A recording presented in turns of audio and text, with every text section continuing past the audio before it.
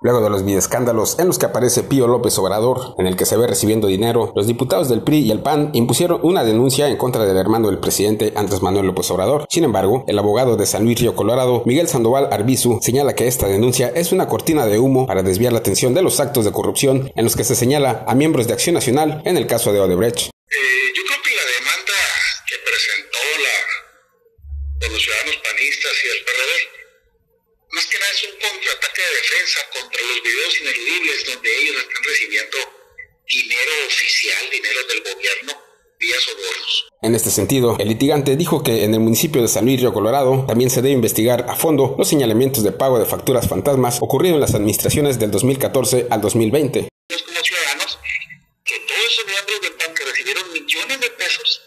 sean investigados y en su caso de ser ciertas las acusaciones sean procesados, si del proceso resulta encarcelamiento, que sean encarcelados. Y obviamente también queremos que aquí en San Luis, en la denuncia pública a nivel federal que salió,